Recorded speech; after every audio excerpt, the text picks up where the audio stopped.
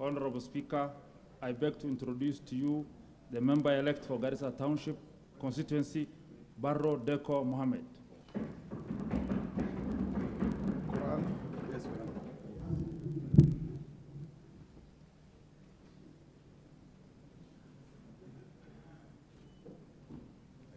Yes.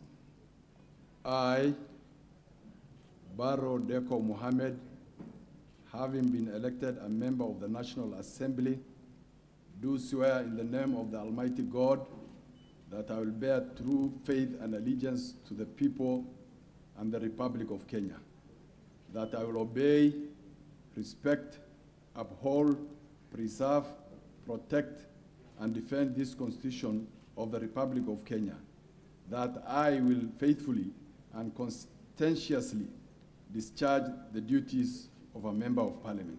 So help me God. Thank you. Congratulations. Thank you. And you can proceed and sign the oath of office.